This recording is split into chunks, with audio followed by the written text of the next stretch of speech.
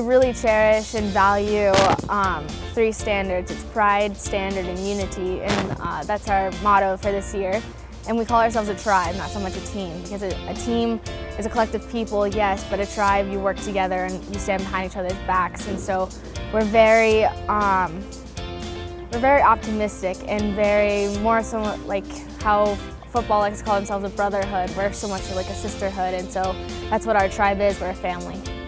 As a as a woman, you got to prove that you are as good as anybody else. And so softball is a lot of compared to baseball, and so it's kind of interesting. I mean, when you tell somebody, or when I tell somebody I'm on the softball team, and they're like, "Oh, it's just like baseball," if they've never seen softball before, and I'm like, "Nah, no, not really."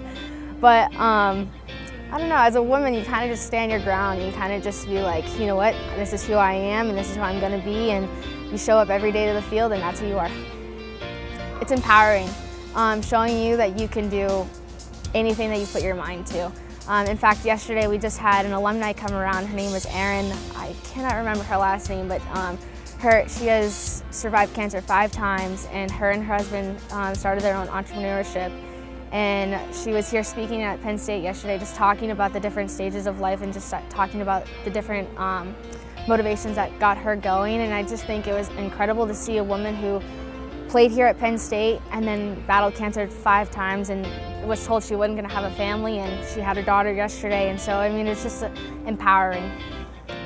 Um, being an athlete kind of just shows you the ropes of how reality is. Um, you're put into a situation where you, you're on this team with 20 other girls. For me, it's 20 other girls and eight other staff members.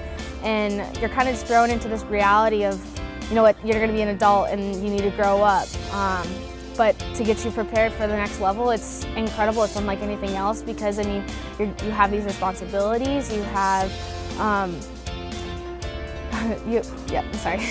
you have these responsibilities and you have these directions that you know you, that you need to go and how to get there. It just teaches you how to be an adult, really.